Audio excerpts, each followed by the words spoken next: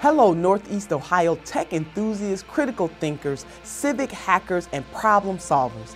This is Nina Turner, and I'm here at the CMHA headquarters on Kinsman Road to tell you about an incredible opportunity for you to bring your skills and abilities to solving some of Cleveland's biggest challenges and have the opportunity to compete for over $10,000 in cash and prizes.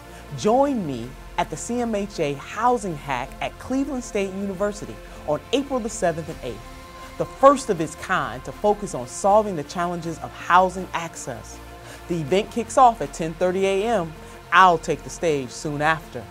I'll be talking about a number of things, but here are the four areas where we need your creative prowess. Transportation. People need to live where they work and spend their time.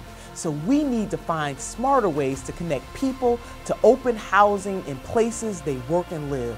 Healthcare.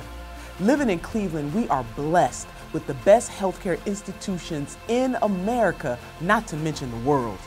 We have to figure out a way to ensure everyone has the best possible access. Education. We want our children to go to the schools with the best opportunities and most promising programs we will focus on the intersection between housing and education. Connectivity.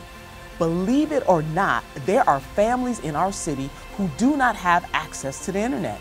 Connectivity is a bridge to success, and this issue intersects all four aspects of our competition. So tell all your friends. CMHA Housing Hack is open to students, professionals, residents, and anyone who wants to make a difference. Join me on April the 7th and 8th for the CMHA Housing Hackathon.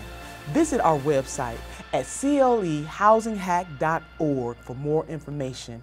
We look forward to seeing you there.